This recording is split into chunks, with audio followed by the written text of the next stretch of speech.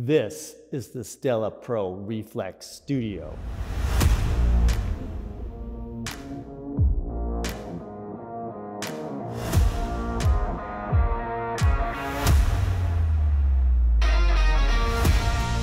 Reflex Studio is perfect for studio work.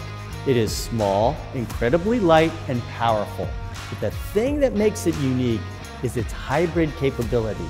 Imagine a tiny light that can be placed overhead on a lightweight boom, controlled remotely, and can either power up to 9,000 lumens in continuous mode or a full stop more light in digital burst, which is high speed, new technology type of flash with zero recycle time and does not overheat. The Reflex Studio comes with a reflex light head, light stand mount, and a 24 degree optic that makes the light appear similarly to a grid by focusing the light's power over a smaller area. Also included is a 3 meter USB-C power cable and 100 watt USB-C power adapter.